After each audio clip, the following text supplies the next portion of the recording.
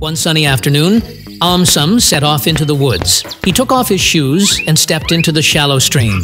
He didn't notice the small, slippery creature silently swimming nearby.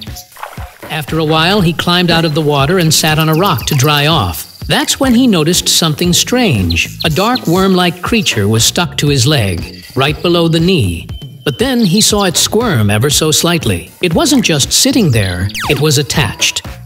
AumSum felt a mix of surprise and worry. He leaned closer and examined it with his magnifying glass. The creature was a leech.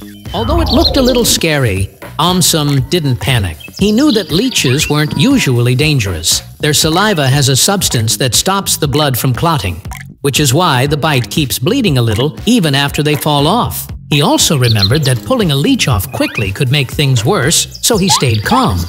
Reaching into his backpack, AumSum took out a little container of salt he had packed for snacks.